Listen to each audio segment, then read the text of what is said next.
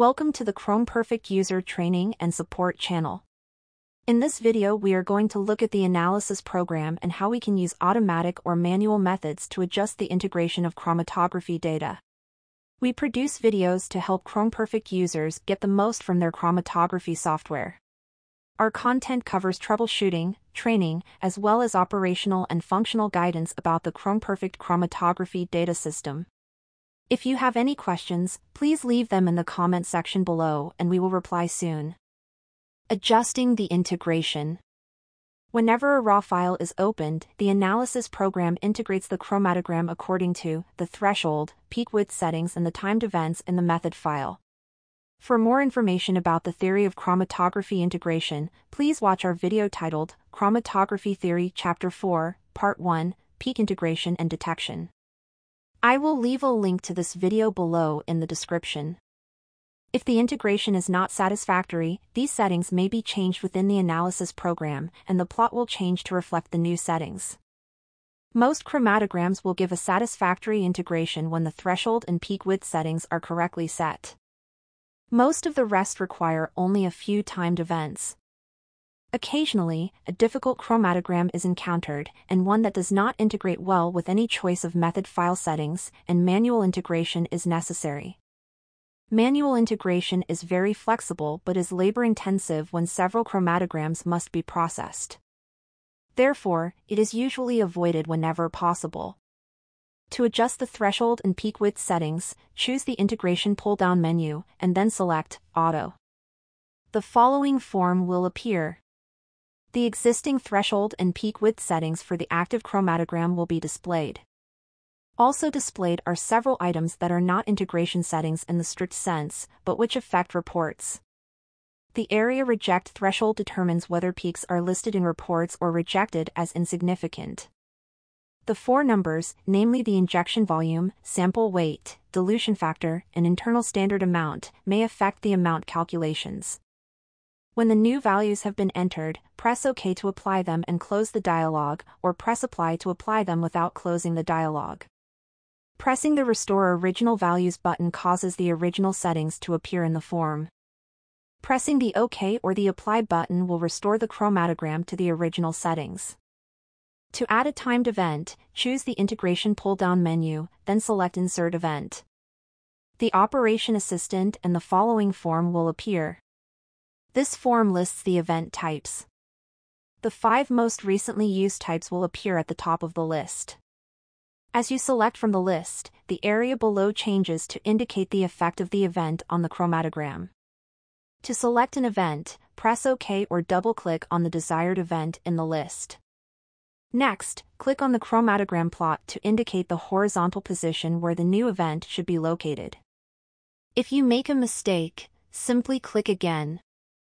When the event is properly placed, confirm its location by pressing the next button on the Operation Assistant or by right-clicking on the chromatogram plot. The chromatogram will be reintegrated and the new event label will appear. To add another event of the same type, simply left-click again the process will repeat. You must confirm each event before setting the next one. To add an event of a different type, press the More button on the Operation Assistant, select a new event type, and continue as before. To delete timed events, choose Integration-Delete Event. The Operation Assistant will appear, directing you to select a region of the chromatogram with the mouse. Click, drag, and release to define the region, which will be indicated by a pair of vertical lines.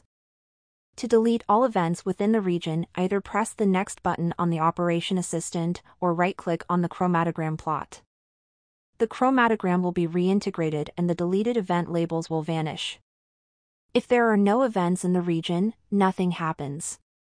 To move a timed event, choose Integration-Move Event the Operation Assistant will appear, directing you to select an event with the mouse. Click on the chromatogram plot, and the nearest event will be selected. The nearest event may lie outside the plotted region, but it will be found anyway.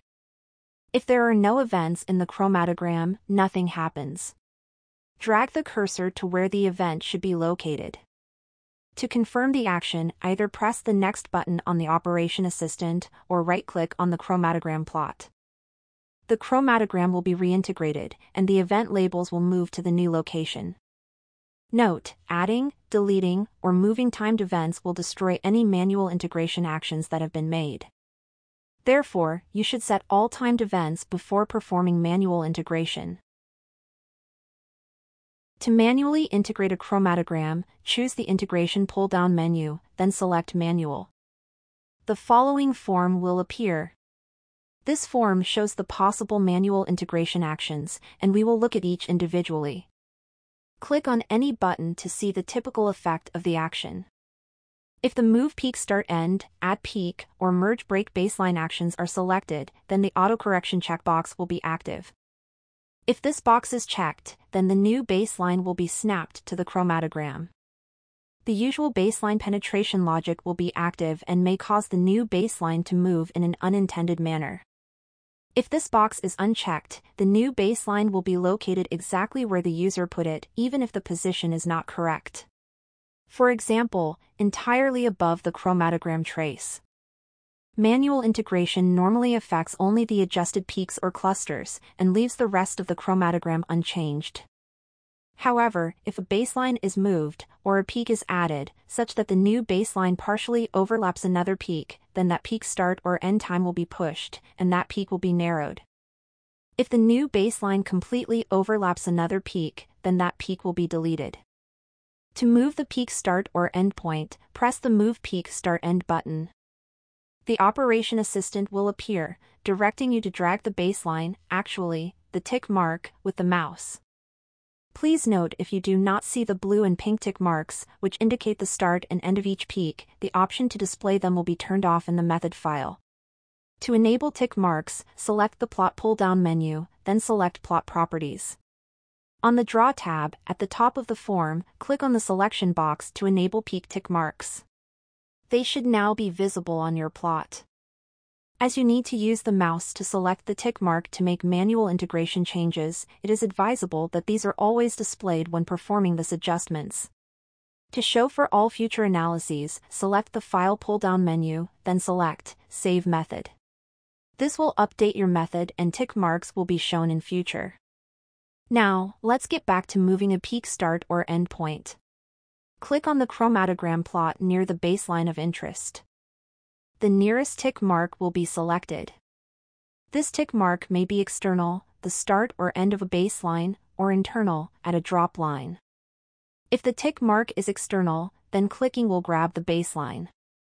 A red rubber baseline will appear. Drag this baseline to the desired position, it will pivot around the opposite end. One cannot move this baseline past the pivot point. When it is properly positioned, press the Next button on the Operation Assistant or right-click on the chromatogram plot. The chromatogram will be reintegrated, and the baseline will move to the new location. If the tick mark is internal, then clicking will grab the drop line. A red vertical line will appear. Drag this line to the desired position. One cannot move this line past the baseline endpoints. When it is properly positioned, press the Next button on the Operation Assistant or right-click on the chromatogram plot. The chromatogram will be reintegrated, and the drop line will move to the new location.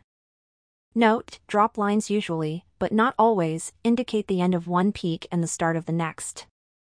If you wish to preserve the cluster, be sure to click on the peak that will be enlarged. That is, if you wish to move the drop line to a later time, click on the earlier peak, and vice versa. Since peaks cannot overlap, the other peak will shrink, and a single drop line will result. If you click on the other side of the drop line, then the peak that you clicked on will be narrowed, but the other peak will be unaffected, and the cluster will be broken. To add a new peak, press the Add Peak button the Operation Assistant will appear, directing you to draw the baseline with the mouse. Click on the chromatogram plot where the baseline should start. As you drag in either direction, a red rubber baseline will appear and will pivot around the initial point. When this baseline is in the desired position, release the mouse. To confirm the new peak, press the Next button on the Operation Assistant or right-click on the chromatogram plot. The chromatogram will be reintegrated, and the new peak will appear with its baseline. Note, if the new peak begins or ends within another peak, then the new peak will be part of the other peaks cluster. To delete a peak, press the Del Peak button. The Operation Assistant will appear. Click anywhere within the peak to be deleted. The label will indicate the selected peak. To confirm the deletion, press the Next button on the Operation Assistant or right-click on the chromatogram plot. The chromatogram will be reintegrated, and the deleted peak will vanish. Note, deleting an internal peak within a cluster will break the cluster. To split a peak, press the Split Peak button. The Operation Assistant will appear. Click anywhere within the peak to be split.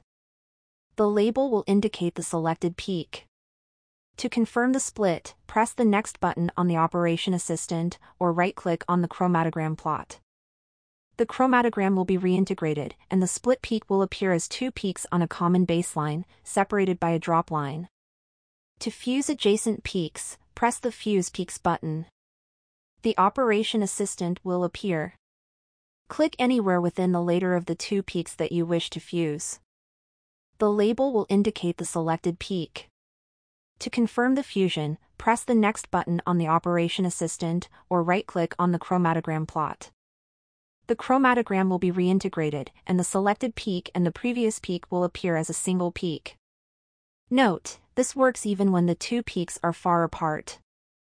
If the fused peaks are part of different clusters, then the clusters will be fused also.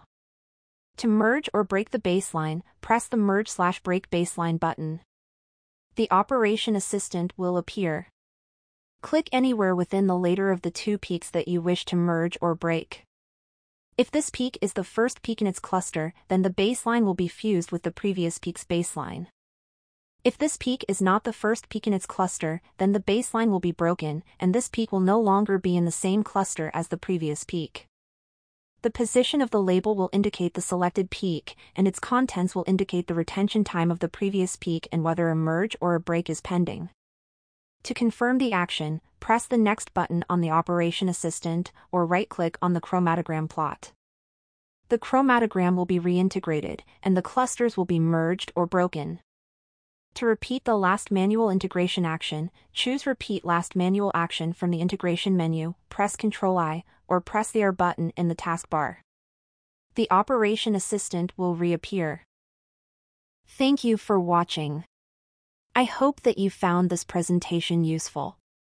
Please like this video, subscribe to our channel and hit that bell icon. This way you will be notified every time we post a new video. If you would like more information about the topics we have discussed or would like to contact a member of our team, please visit our website at www.chromperfect.com.